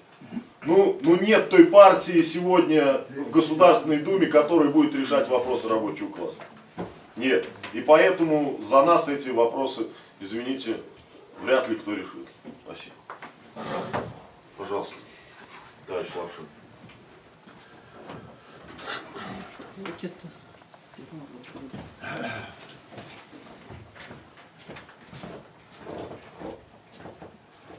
Лапшин Анатолий Никонорович, советник на общественных началах по экономическим вопросам Ванского профобъединения. В свое время вместе с Александром Владимировичем мы проводили круглый стол в городе Иванове с участием в том числе олигархов нашего, так сказать, уровня. Ну, присутствовал руководитель системы «Кенгуру» Тверской, который в полемику вступил с нами в режиме именно вот э, такого свойства, что пусть рабочие работают сколько хотят. Не по 6 часов, там, не по 8, а сколько хотят. Но само по себе проведение этого круглого стола значит, дал определенный эффект. Само значит, то, что э, есть такая мысль о том, что э, рабочий день должен быть 6 часов, он, это, так сказать, идея присутствует, и она находит и теоретическое подтверждение, и, и практические, и так далее э, посылы и поддержку. Можно говорить много о политических партиях, можно говорить о депутатах, но совершенно правильно, значит, вот коллега не так давно выступал, говорил о том, что нужно ну, там в системе онлайн, везде, значит, и в депутатские круги надо везде внедрять эту мысль. Почему? Потому что я вчера, по-моему, ссылался, когда на конференции на Конституцию, где речь шла об образовании. Но у нас вообще по Конституции государство социальное. Если оно государство социальное, то именно идея шестичасового рабочего дня входит вот в это понятие социальное государство. Но я вернулся, значит, к своей более трудовой молодости. Когда я начинал работать слесарем-монтажником, рабочий день составлял 8 часов 6 дней в неделю. Потом в субботу, значит, сократили, я уже немножко подзабыл, когда по годам стал, значит, у нас не 48-часовая неделя, а 46-часовая неделя.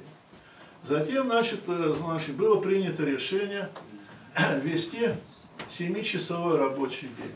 При, э, значит, 6, э, шестидневная рабочая неделя, суббота 6 часов и, значит, 5 дней а, по 7 часов.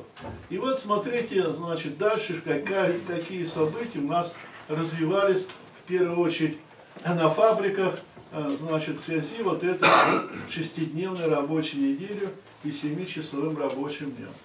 Женщины, в первую очередь, ткачихи, прядищи и так далее, стали ставить вопрос, а зачем нам работать по 7 часов, не лучше ли нам все-таки работать по 8, но с тем, чтобы при наличии 41 часовой недели это самое, что работать по 5 дней, 8 часов, и чтобы для, сказать, было высвобождено 2 дня. Ну, конечно, 41 час, 40 э, и 41, но тем не менее, эта система начала работать. Не только в Ивановской области, я знаю, что даже в Подмосковье эта система работала. И 40 часов, вообще-то, уменьшение рабочей недели с 41 до 40 часов, очень длительное время шло. Значит, и вот сейчас мы имеем 40-дневную рабочую неделю.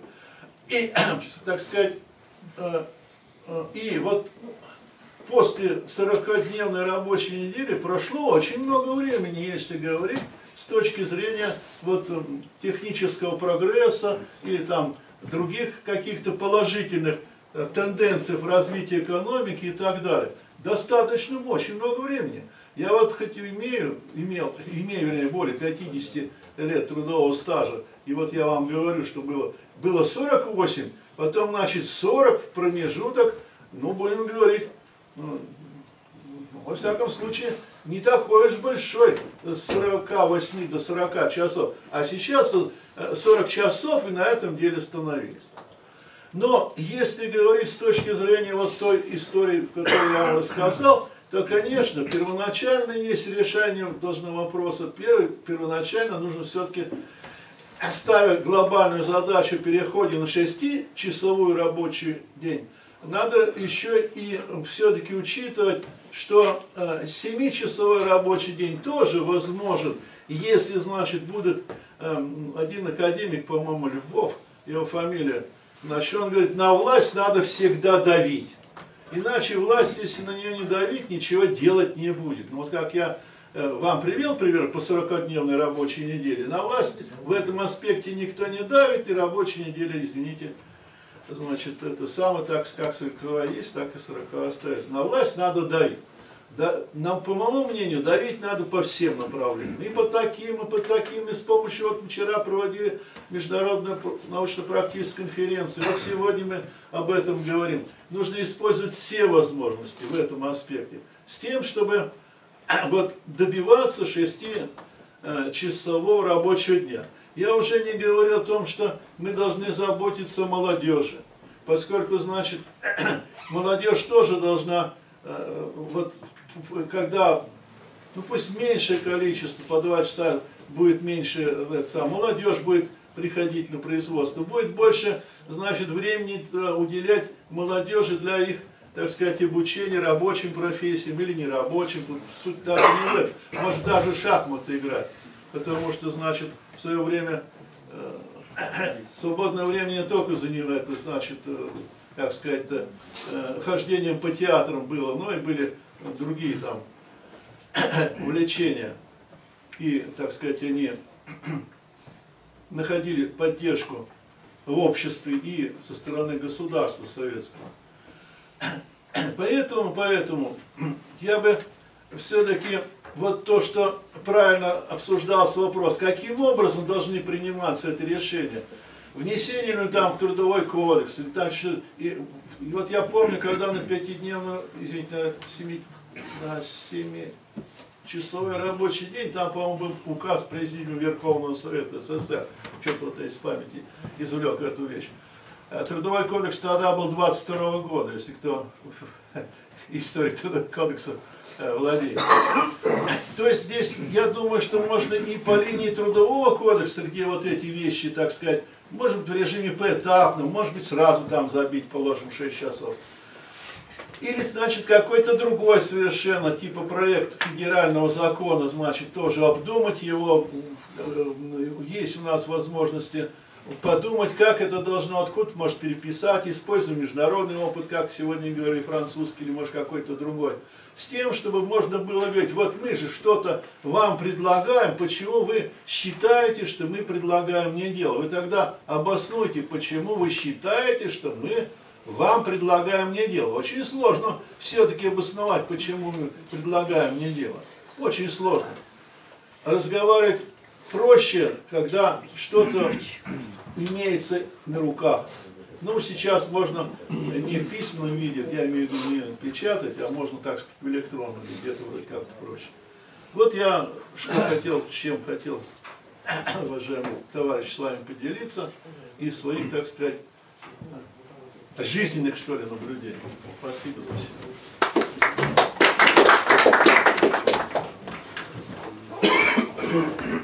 Перерыв 12.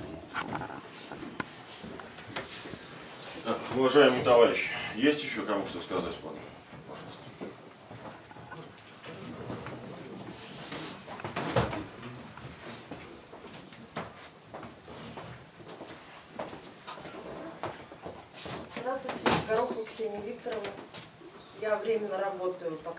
Продавцом на ярмарке. Я не рабочий, но среди моих знакомых много рабочих. Что хочу сказать по этому вопросу. Значит, когда ссылается на Великую Отечественную войну, то, что рабочий день был очень большой, то это, во-первых, такая необходимость, когда шла речь не только о жизни одного себя, самого человека, всей страны, поскольку фашисты хотели уничтожить, оставить какое-то ограниченное количество людей на этой территории, ну, то есть воспользоваться просто ресурсами, остальное все уничтожить. Это во-первых. Во-вторых, я часто очень писала доклады, то есть одно время занималась, писала доклады для студентов, э, по, именно по этой теме получалось так. Я пользовалась энциклопедиями, не интернетом, а энциклопедиями. Вот там было Марья Ивановна, там с такого-то колхоза заработала, там за такой-то период купила танк. Там то-то, то-то, там, значит, сложился и купил три самолета для фронта и тому подобное. Просто мне интересно сейчас, если рабочие по такому будут работать, сможет ли один или даже четыре купить танк. То есть хотя бы вот с этой финансовой стороны. Танк они купить не смогут. Не хватит у них денег для танка. Другое. Освобождение свободного времени. Как объяснить рабочим? Для чего им нужно 6 часов? Вот если честно, по моему, по моему опыту, многие не могут посчитать свои расчетки. Они просто не понимают, что там. Чтобы в них разобраться, поскольку там все так запутано, нужно сидеть, разбирать часами. Им даже вот они приходят и вот, ну вот, смотрите, вот, вот, вот, вот, вот, вот, все. Потому что мы считали расчет. Такой случай, значит, человек по доходный налог 13% взяли 6 тысяч, на руки дают тысячу. И она, она говорит, вот у вас начислено. Ну мы смотрим, начислено 15 тысяч. Я говорю, с 15 тысяч 13% не может быть 6 тысяч. Вот человек, он понимает, что его обманывают, но никак. Другой вопрос, значит, на одном предприятии, у них официально, значит, они график два дня в день, два дня в ночь, два дня выходных.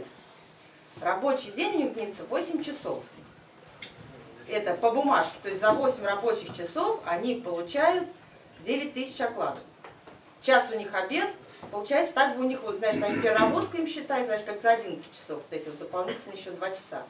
Но говорят, ну вот в этом месяце был 31 рабочий день. Вот 31 день. Э, не, не рабочий, просто 31 день. Вот у вас лишний день рабочий вот с тем. Вот мы сейчас вот отсюда взяли то, что у вас было по 2 часа, а мы прибавили в этот день. А, нет, наоборот, в том месяце был лишний, в этом его не хватает, мы посчитали, то есть им как по 8 часов очень там красиво, конечно, Но вот если все-таки 6 часов, то все-таки поменьше, наверное, я так думаю, сменка, если будет. То есть нужно их учить. То есть освобождать даже не для семьи, не для себя, хотя бы научиться. И другой вопрос. Значит, такие правила на предприятиях. Рабочие работают с 8 до 8. Значит, Белый дом приходит в 9 часов, уходит в 6.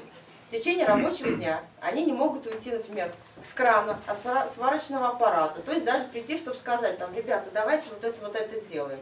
Обед у них совпадает обычно Первый обед совпадает с тем, как обедают в этом белом доме. Второй обед совпадает, когда там уже никого нет. Они никому не могут пойти даже предъявить свои, говорится, требования. Некому.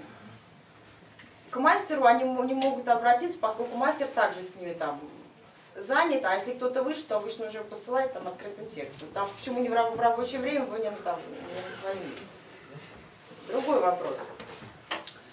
Что, как, как мы, вот, э, бывает, вот разговариваем с некоторыми, я говорю, ну смотри, да, ты переработал, допустим, вот ты сегодня получил надбавку, но посчитай, сколько ты получил в деньгах. Вот опять же начинаем по этой расчетке считать, как вот они считают, потому что никто в два раза не насчитывает. Вот ну ты сколько переработал? Немного. А давай считать, вот у многих сердце, кто-то перенес инсульт, простите меня, в 30, 35, 40 лет. Многие. Грыжа межпозвоночная. То есть это достаточно страшный диагноз. Легкие. Лечение сейчас все дорогое. Минимум то, что выписывает врач лекарства, оно стоит 500 рублей. То если посчитать, простите, переработки, вы даже своей зарплаты не оплатили свое лечение. Даже если вы просто пошли с гриппом, то, что оплачивает больничное предприятие, вы это не получаете. То есть просто таким способом посчитайте. Это, это можно посчитать, и они с этим сталкиваются люди, потому что хотя вот, знаете, с насморком кто-то уходит. Ну не с насморком, а с чем-то серьезным. Что с мигрантами? Вот это предложение, что мигранты отбирают. Есть такой опыт, что мигранты наоборот, на предприятии получают больше. Они сплоченнее, они идут, требуют.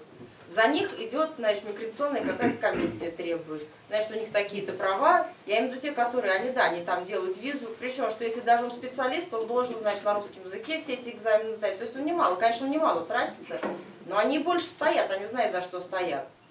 Конечно, дешевая рабочая сила, но простите, вот если простой рабочий, который таскает кирпичи и настройки, то и наш Ваня получает же столько же. Он не получает ни больше, ни меньше. Они одинаково получают вот эти там, где 100, где 200, где 300 рублей. То есть мигранты, они как сейчас такой роли не играют. Мы как сейчас находимся в равном положении все, чисто финансово. Но потому что оно где-то не выровнено. Я говорю, вот где-то вот они, вот и просто по есть по-разному. Вот есть, вот, например, приехали, например, вот на одном предприятии приехали беженцы с Украины. Они получают в три раза выше, чем вот люди, которые живут там. Они получают в четыре раза выше, они знают свои права, если что-то где-то не так, они пошли, они там, значит, устроили скандал, и им не дай бог, их там, значит, вовремя не отпустили, не дай бог, если им не доплатили зарплату. Да, в другом месте есть там, да, мигранты чуть-чуть получают, но они не настолько меньше получают. Да, у них там нет документов, их приходится как-то выживать. Причем с той же самой Украины, там, да, они там живут, им ни жилья не предоставляют, но они получают где-то наравне, если вот предприятие не получает зарплату, и они не получают зарплату. Все. То есть это оно просто неровно а идет. где это вообще? Ну, значит, вот ЗМК было, масло сырбаза там. А вы считаете справедливо, если э, беженец получает 800 рублей, а многодетная мама платили 200? Ну, вот простите, вот мы получаем одинаково, я вам опять же говорю, вот я стою на ярмарке, получаю 400 рублей в день, допустим, даже без процента. Мы считали зарплату рабочего в день, она варьируется от 500 до 1000. 1000 это потолок. И то ему за эту тысячу нужно так вы, ему нужно за тысячу так выгнуть, выгнуться этому рабочему. Что, простите, он не то, что дома не бывает, он потом, они потом помирают. Их вот, видите, в 40 лет их можно вот так вот венчиком смести и выкинуть в урну. Потому что они уже не люди, они уже не могут просто-напросто двигаться. Есть, конечно, да, кто там, есть, говорю, разные. У нас просто сейчас такая работа, что где-то платят меньше, где-то платят больше. Не об этом говорить, я говорю, в основном в среднем. То есть, поэтому я считаю, что шестичасовой рабочий день требования, оно, конечно, нужно. Нужно объяснять, объяснять по-разному. Говорю, хотя бы с финансовой стороны рабочей. Что не то, что отдыхать, а на то, что пить, ну, я со многими согласна. Кто хочет пить, тому оправдания не нужно. Это в рабочее время Ну, он и в рабочее время напьется, не в рабочее время, но и ночью, если надо В свое встать. время рыков купили в рабочее время. Был такой период. Но некоторые Рыков- работают, им работать помогает. Спасибо. Спасибо. Рабочий Рык как раз от того, что много работают, стресс снимают. Уважаемый товарищ, кто еще хотел бы? Можно. Да. Время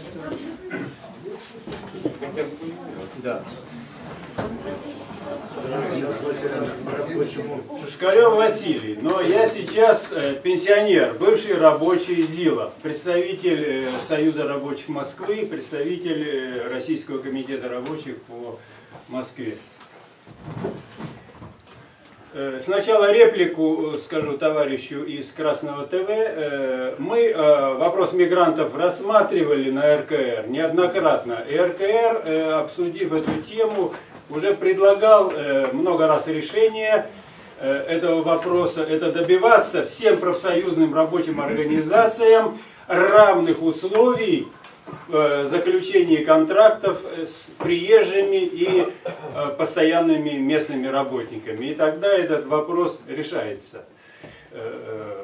И этого надо добиваться опять так же, как и 6-часового рабочего дня. Теперь к 6-часовому рабочему дню. Сам-то я э, математику хорошо в школе меня учили и знал прекрасно, что уже когда мы работали 8 часов для э, работающих это излишнее. Потому что наши деды, которые добились 8-часового рабочего дня, они работали на паровых машинах и на конной тяге. Я уже работал, у нас уже э, и появилась и плазменная резка, и лазерное упрочнение гильз двигателей и так далее, и так далее. То есть техника, технологии продвинулись настолько, э, ясно, что можно было бы э, не работать э, 8 часов, если бы количество рабочих осталось тех, то же самое, которое было и в 17 году. Даже, э, помните, после революции, э, пусть консультанты попомнят, э, Владимир Ильич Ленин говорил, что э, нужно сделать э, 8-часовой и плюс не плюс, а из этих сколько-то использовать рабочим для военного обучения. Говорилось. То есть из этого времени. Да. Поэтому и мы сейчас э, должны, э, и ученые, которые посчитали, вчера вот на научно-практической конференции говорили, что при э, всеобщей занятости в промышленном или производительном производстве рабочий день можно сделать полтора-два часа. То есть, но, к сожалению, капитализм развивается неразумно. Капитализм развивается так, что заставляет э, работать на тех же условиях и гораздо худших условиях рабочих. Но дело в том, что и рабочие, мы сами не всегда сопротивляемся. Я никогда не работал сверхурочно. Ни в советское время, ни в капиталистическое время. Никогда. Потому что в советское время я тратил это время на хобби, так как вот э, французы э, упрекнули, что он любит сад, я любил путешествовать и э, выискивал все свободное время для путешествий.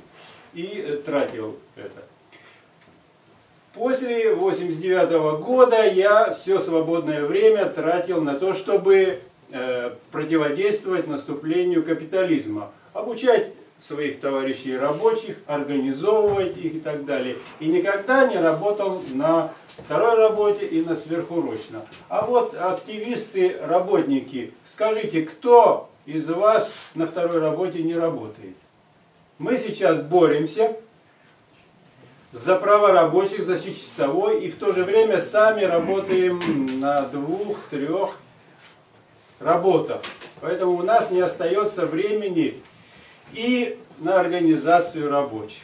Поэтому э, я предлагаю вот в эту формулировку как-то вписать или сказать, или э, э, нами э, дать, как бы сказать, рекомендации, чтобы э, Разумеется, э, производительный, время производительное сократить надо до 6 часов. Но освобожденное время, какую-то часть надо обязательно, и нам рабочим это понять должны, даже как бы принудительно для работников заниматься обучением, управлением производства.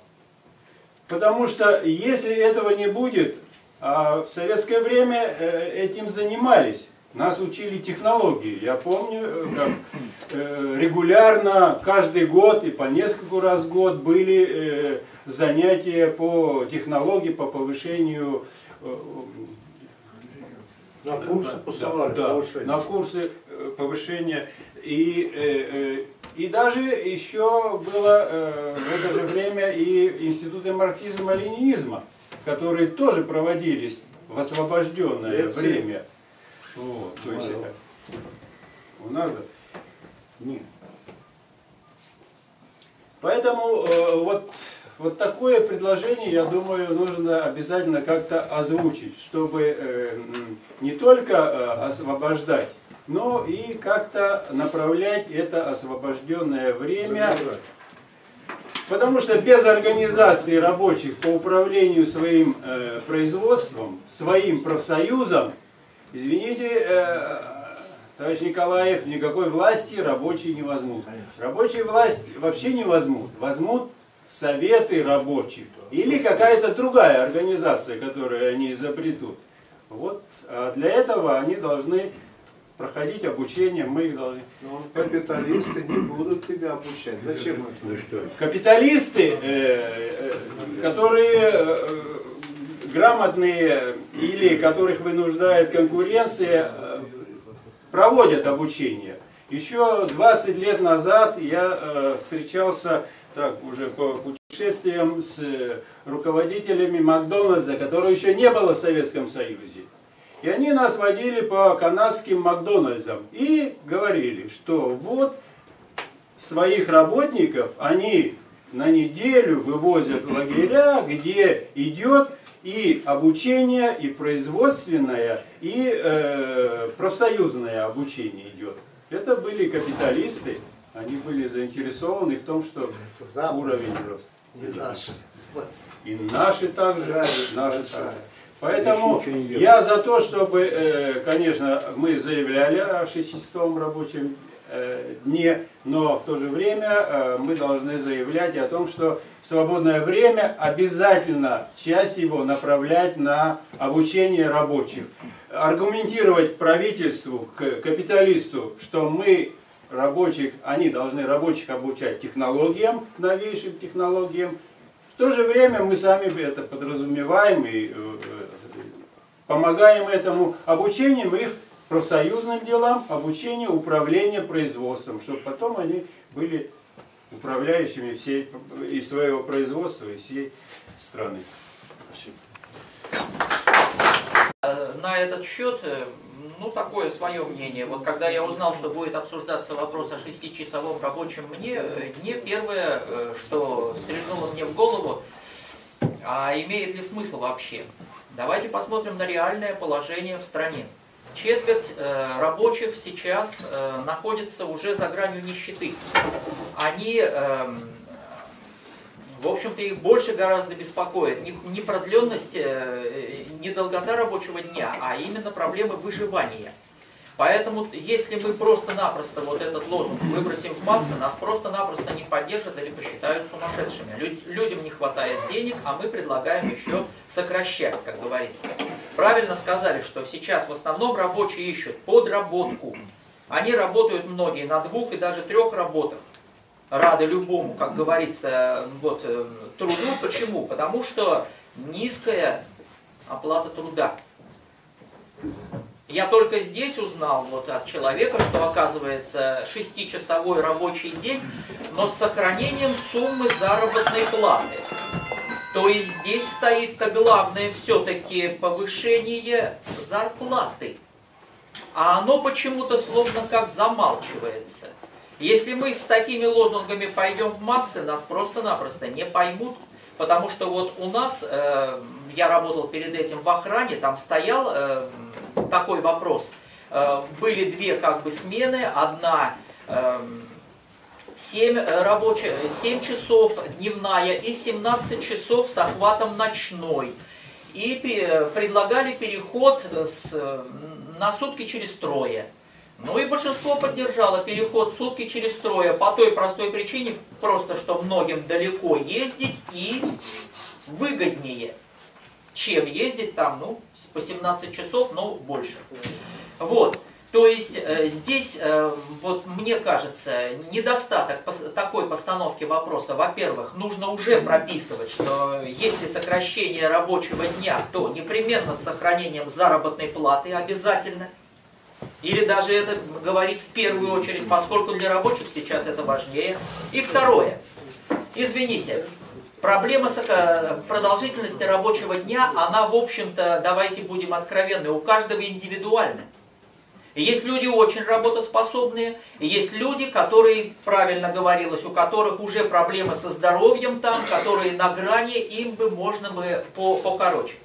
Я вот сейчас нашел эту работу и почему придерживаюсь ее. Мне выгодно работать по 5 часов, потому что мне остается время именно на политическую работу, но это мне, который, как говорится, уже э, целиком в политике. А вот когда я слышу от вас, что рабочие должны эти часы, которые освободятся, тратить на самообразование, на обучение управлению и э, на э, политическую активность, ну простите, это наивно. Посмотрите на современных рабочих. Это вот можно ставить вопрос так, когда мы будем держать в своем, как говорится, под своим влиянием всех рабочих России. А сейчас они куда пойдут? В лучшем случае в интернет, в интернет-игры, в развлечения или там в телевидении, у телевидения посидят дольше. Нам это ничего не принесет. А обратите внимание, сейчас в стране еще, опять же, меняется политическая обстановка. Сейчас ставится вопрос о э, продлении пенсионного возраста. И что?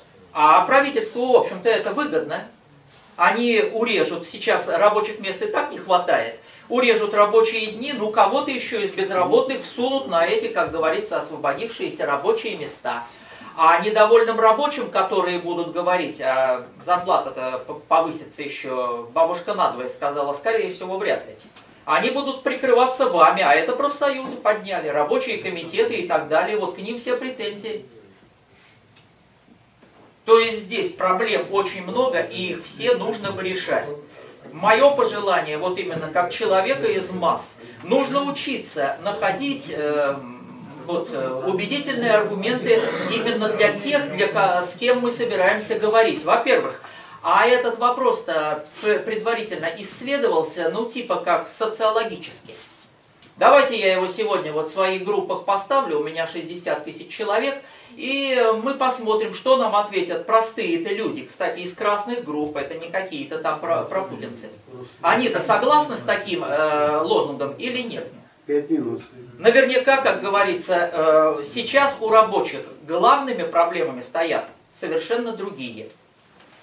Мое мнение. Какие главные проблемы? А я сказал, повышение заработной платы прежде всего, возможность, опять же, э, наибольшее, чего я здесь тоже не услышал, э, надо найти какой-то механизм для того, чтобы было более безопасно создавать рабочие профсоюзы на производстве. Потому что у нас вот самых активных просто выгоняют. Это мы знаем.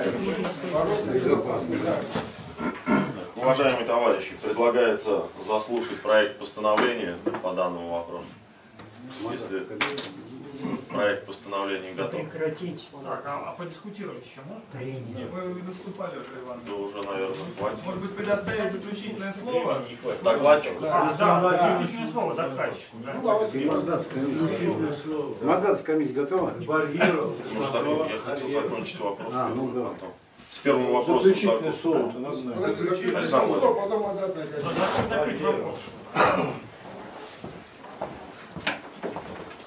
Владимир Витальевич, я думаю, сказать, мое заключительное слово должно быть коротким. Почему? Потому что вот э, многие выступавшие затронули разные аспекты темы, так что целостное впечатление сложилось. И единственное, наверное, надо э, прокомментировать вот последнее выступление о том, что большинство рабочих не поймет.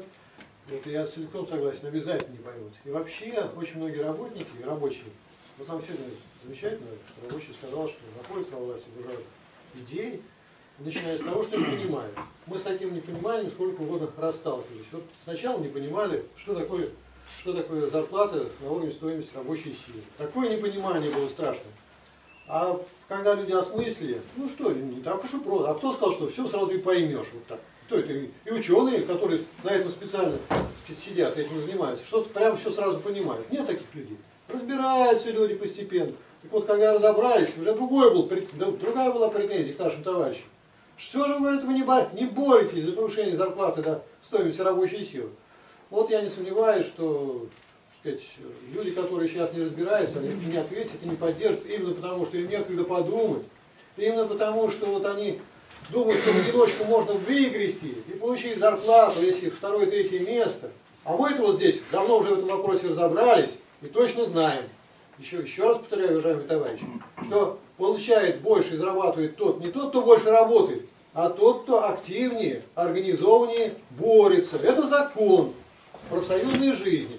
Эти закон никому не дал Кто пытается в одиночку противостоять армии капитала, объединенной, тот обязательно проиграет. И обязательно будет сказать, вложить копейки считать нищете. И надо таких товарищей предостеречь, помогать им. Помогать не тем, что идти у них на поводу, а тем, что выставлять правильные лозунги, добиваться победы и тем самым помогать им выйти на правильную дорогу, сказать, включаться в эту коллективную борьбу. Так что я думаю, что вот процесс понимания он долгий, и мы не только словами видим, а передовой практикой, и не сомневаюсь, что когда передовая практика даст подтверждение тому, что можно повышать зарплату при сокращении рабочего дня, и наоборот, сокращение рабочего дня – это самый главный, так сказать, путь и самая главная предпосылка для повышения заработной платы. Вот тогда люди пойдут активнее профсоюзы, будут активнее бороться, а не пытаться прихватывать третью работу. Где они, как сегодня убедительно доказали, только сокращая свой жизненный путь и прямо готовятся к могиле. Конечно, по этому пути не пойдут. Уважаемые товарищи, есть проект постановления, который я хотел бы, с которым хотел бы ознакомить вас. Ну и как обычно, значит, предлагает, лекционная комиссия предлагает, если вы за основу, рассмотреть, вернее, вопросы принять за основу, а дальше там тоже как обычно. Итак, постановление Российского комитета рабочих о борьбе за шестичасовой рабочий день. Российский комитет рабочих отмечает, что сокращение рабочего дня до 6 часов при 30-часовой рабочей неделе без понижения зарплаты является одной из коренных характеристик улучшения положения современных работников. Оно даст им дополнительное время для повышения квалификации, участия в организуемых профсоюзами коллективных действиях, сбережения здоровья, общения с семьей. Активизация на такой основе борьбы профсоюзов позволит сохранить занятость, улучшить условия труда, приблизить заработную плату к уровню стоимости рабочей силы. Достигнутый в России уровень общественной производительности труда многократно превосходит имевшийся в конце 1920-х годов, при котором осуществлялся переход к 7-часовому рабочему дню. Введение 6-часового рабочего дня – будет стимулировать предпринимателей к развитию производства на основе повышения производительности труда. Сокращение рабочего дня до 6 часов без понижения заработной платы требует активной борьбы работников организованных профсоюзов. Российский комитет рабочих рекомендует рабочим профсоюзным организациям следующее. Первое.